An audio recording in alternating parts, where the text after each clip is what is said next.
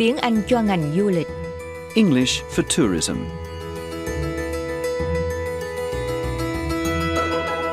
Bài học 18. Trên boong tàu.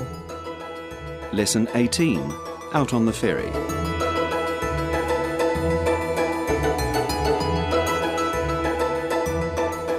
Quỳnh Liên và toàn ban tiếng Việt Đài Úc Châu xin thân chào quý bạn.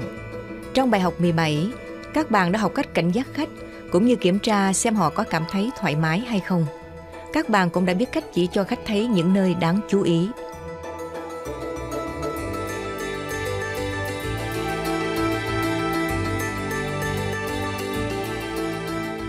Trong bài học hôm nay, các bạn sẽ học cách mời khách ăn uống và biết cách diễn tả trong trường hợp phải nhìn nhận có sự hiểu lầm. Ngoài ra, chúng tôi sẽ cho các bạn làm quen với một số cụm từ thông dụng khác trong ngành du lịch, cũng là hướng dẫn các bạn để ý đến nhu cầu an toàn trước tiên. Bây giờ chúng ta sẽ tiếp tục cuộc đối thoại với chủ đề trên boong tàu.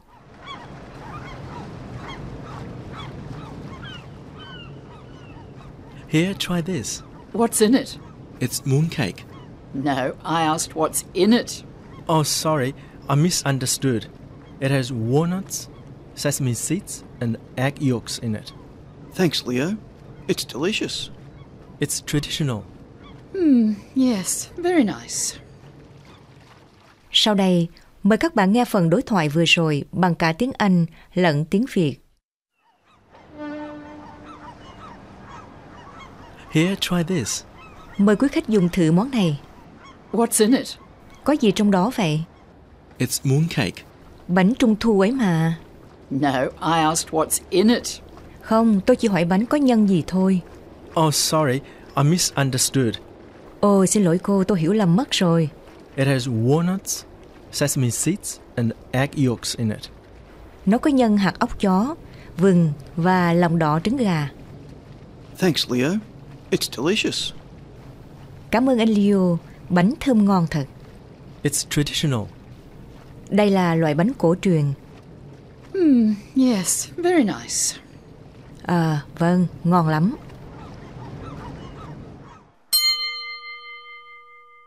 Anh Leo mời ông Jack và cô Mona ăn bánh trung thu. Xin các bạn để ý xem anh Leo nói thế nào nhé. Here, try this. Mời quý khách dùng thử xem. Đây là cách mời khách ăn một thứ gì đó. Người ta không nói, Here, eat this. bởi vì nói như thế nghe không được lịch sự cho lắm. Các bạn cũng có thể nói, Would you like to try this? ông hay bà có muốn dùng thử món này không? Hay Would you like to try some of this? Ông hay bà có muốn dùng thử một chút không? Đây là kiểu nói nghe có vẻ khách sáo, nhưng chắc ăn hường, vì không ai có thể bắt bẻ các bạn. Mời các bạn nghe và lặp lại. Here, try this. Here, try this. Would you like to try this? Would you like to try this? Would you like to try some of this? Would you like to try some of this?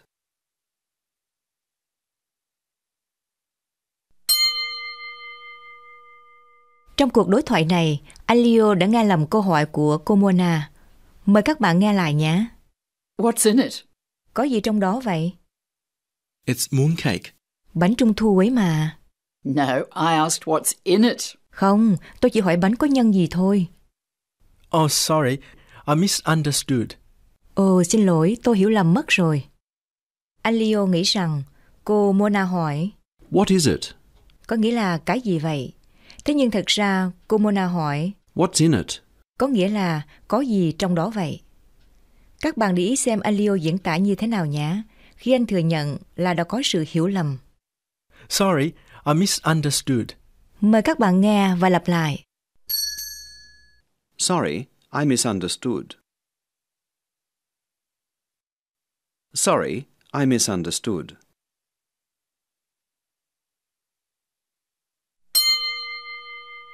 Khi đề cập đến chuyện hiểu lầm, chúng ta hãy quay lại xem chúng ta có thể nói như thế nào nếu không hiểu được người khác nói gì.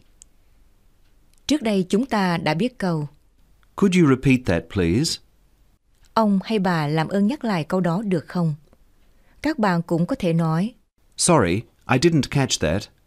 Xin lỗi, tôi không nghe được câu ấy. Hay Could you say that slowly, please?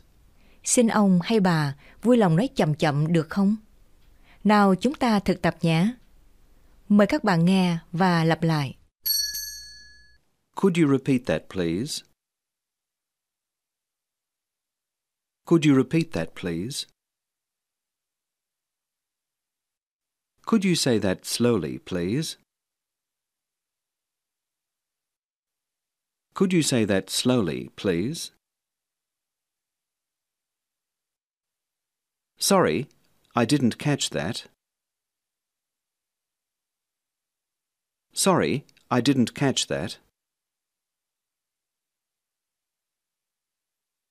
Bây giờ mời các bạn nghe cuộc đối thoại từ đầu đến giờ và lặp lại từng câu nói của anh Leo.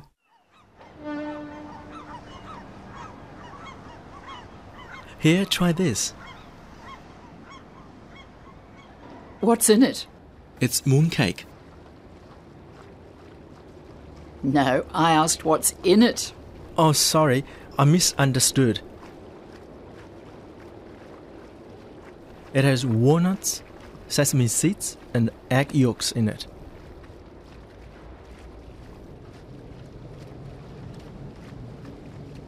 Thanks, Leo. It's delicious. It's traditional. Yes, very nice.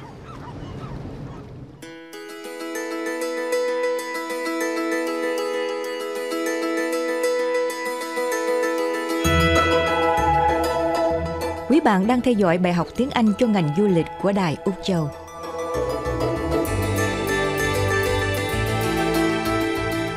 Bài học 18 Trên bon tàu Lesson 18 Out on the Ferry. Bây giờ chúng ta sẽ tiếp tục bài học 18 với chủ đề Trên bon tàu. Anh Leo mới vừa nhận ra là cô Mona có chiếc mũ mới.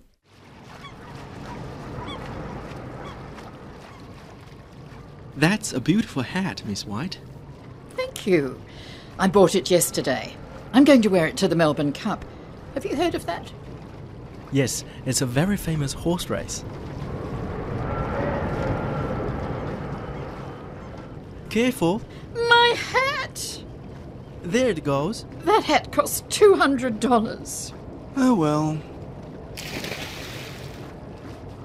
Look over there, Dad. Is that a dolphin in the water? Men overboard! No, Mona, that's Leo. He's trying to save your hat. Mời các bạn nghe lại cuộc đối thoại bằng cả tiếng Anh lẫn tiếng Việt. That's a beautiful hat, Miss White.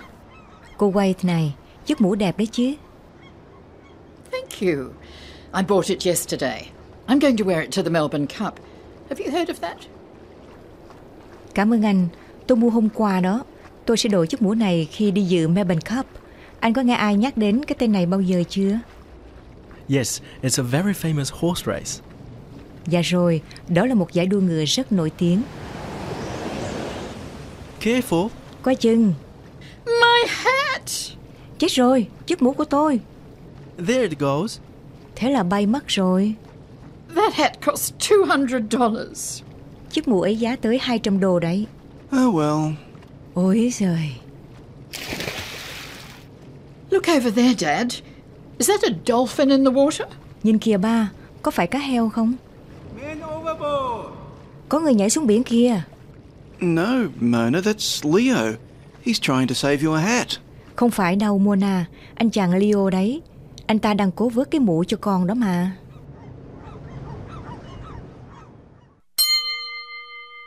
Thế thì sức khỏe và an toàn ở chỗ nào? Hmm, hình như anh Leo đã nhảy đài xuống biển để vớt chiếc mũ trị giá 200 đô la cho cô Mona. Thế nhưng đây là điều không nên làm, bởi vì hẳn các bạn còn nhớ, dù trong hoàn cảnh nào đi nữa, vấn đề an toàn vẫn là điều tối quan trọng, dù là khi bạn nâng những chiếc vali cồng kềnh hay tính nhảy xuống biển. Bây giờ, chúng ta hãy luyện một số câu thông dụng trong ngành du lịch được nhắc tới trong cuộc đối thoại này. Mời các bạn nghe và lặp lại. It's traditional. It's a long way from here. It's a very famous horse race. Bây giờ xin các bạn theo dõi phần cuối cuộc đối thoại và lặp lại từng câu nói của anh Leo.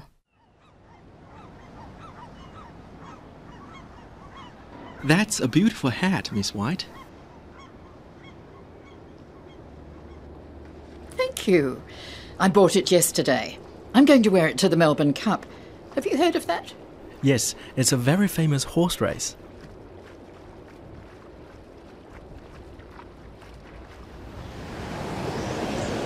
Careful! My hat! There it goes. That hat cost $200. Oh well. Look over there, Dad. Is that a dolphin in the water? No, Mona, that's Leo. He's trying to save your hat. Bây giờ mời các bạn theo dõi toàn bộ cuộc đối thoại với chủ đề Trên bon tàu từ bài 17 đến bài 18.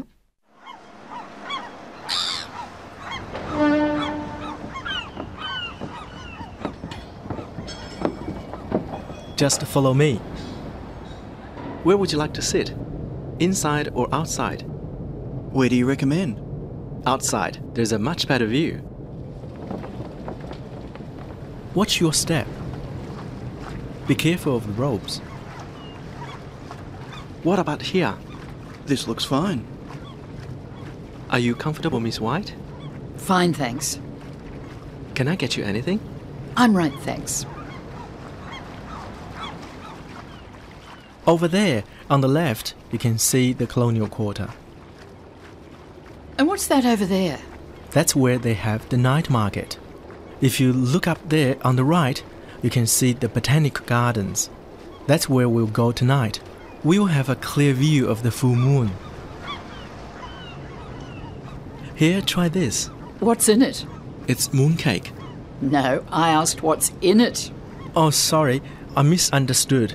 It has walnuts, sesame seeds, and egg yolks in it. Thanks, Leo. It's delicious. It's traditional. Hmm, yes, very nice. That's a beautiful hat, Miss White. Thank you. I bought it yesterday. I'm going to wear it to the Melbourne Cup. Have you heard of that? Yes, it's a very famous horse race. Careful! My hat! There it goes. That hat cost $200. Oh well. Look over there, Dad. Is that a dolphin in the water? No, Mona, that's Leo. He's trying to save your hat. Và sau đây là bài vè để giúp các bạn học và thực tập với hy vọng các bạn có thể nhớ được ít nhiều những gì vừa học trước khi chúng ta sang bài mới. I'm sorry, I'm sorry, I misunderstood. Try this, try this, traditional food. I'm sorry, I'm sorry, I misunderstood. Try this, try this, traditional food.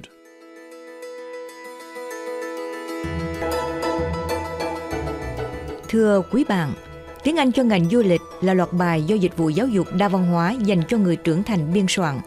Và đây là tổ chức chuyên giảng dạy ngôn ngữ uy tín nhất nước Úc. Bài học 19 vào kỳ tới sẽ nói về lễ rước đèn. Vậy mời quý bạn nhớ đón nghe.